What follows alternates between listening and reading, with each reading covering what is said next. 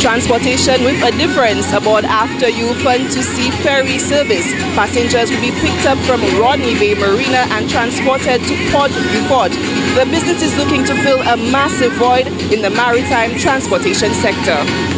With COVID 19 protocols in place, the vessel After You is ready to set sail with passengers who are looking to beat the overland traffic jams.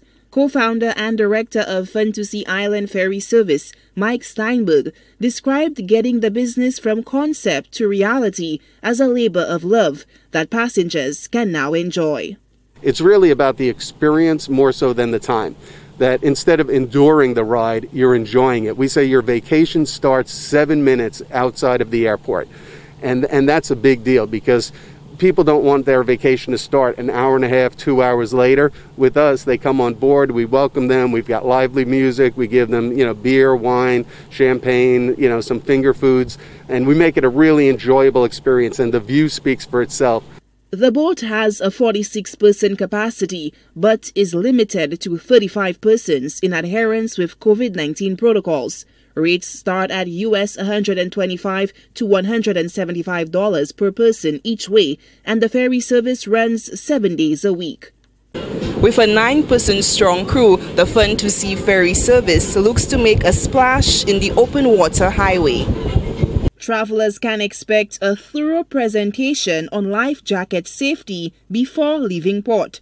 After You Ferry is scheduled to make its maiden voyage on October 22nd, Steinberg describes how the ferry service differs from a touring service. We're not a tour, okay? We're not an excursion. We're a transfer company. So we're giving uh, tourists a taste of the island. Basically, we, we go past the pitons. Obviously, we're going up the Caribbean coast. They see a lot of beautiful things, but we're not stopping and we're not doing selfies.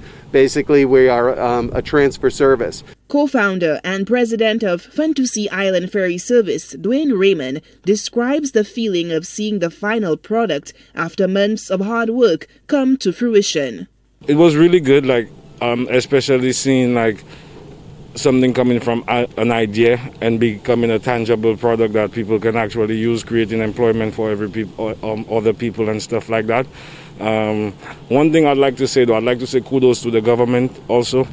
Um, because this service was already tried before in the past and failed miserably. And I would say because of the forward thinkingness of the current administration, that we were able to put the right pieces into place. Um, get the support when it was needed, and to have this product available to them. The ferry service has hopes of expanding in the near future to three to four boats in anticipation of heavier tourist arrivals.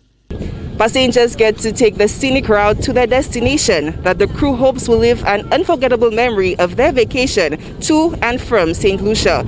From on board the After You Fun2Sea ferry service, Solange Alfred, HTS News Force.